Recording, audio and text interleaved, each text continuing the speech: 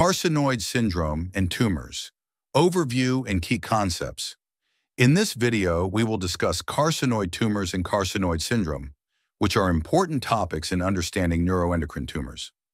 Carcinoid tumors are most commonly found in the small intestine, particularly the ileum, and they can also occur in other areas like the lungs, pancreas, and thyroid. These tumors are made up of specialized neuroendocrine cells, which can secrete substances like serotonin and kallikrein into the bloodstream. Normally, these substances are metabolized in the liver before they can affect the rest of the body.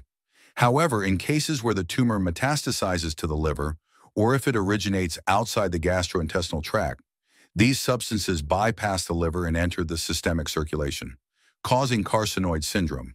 Now, carcinoid syndrome happens when the vasoactive substances, like serotonin, reach the bloodstream and cause symptoms. These symptoms can include flushing of the skin, where the patient may experience a reddish-warm sensation, typically on the face and upper body. Another common symptom is secretory diarrhea, which is watery and voluminous, often leading to dehydration. Abdominal cramps, nausea, and vomiting are also frequent, making the condition quite uncomfortable. Some patients may develop wheezing, which is due to bronchoconstriction or narrowing of the airways. In some cases, the patient can develop carcinoid heart disease, which leads to right-sided heart failure.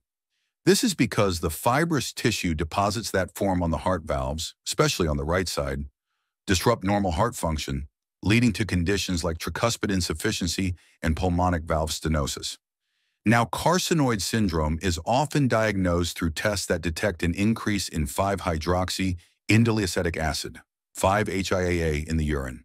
This is a breakdown product of serotonin, and measuring it can help confirm the presence of a carcinoid tumor. Blood tests looking for specific tumor markers like chromogranin A, serotonin, and neuron-specific enolase can also provide helpful information.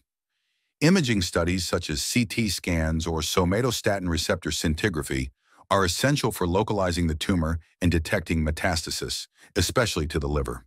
In terms of treatment, managing carcinoid syndrome typically involves octreotide, a medication that mimics somatostatin and inhibits the release of serotonin and other hormones produced by the tumor. If the tumor is localized, surgical resection is often the best approach to remove the tumor and prevent further complications. In cases where surgery isn't possible or the tumor has spread, chemotherapy with drugs like 5-fluorouracil and doxorubicin may be used.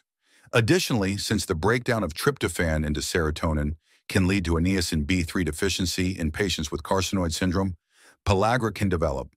This condition causes symptoms like diarrhea, dermatitis, and dementia, which are commonly referred to as the three Ds of pellagra.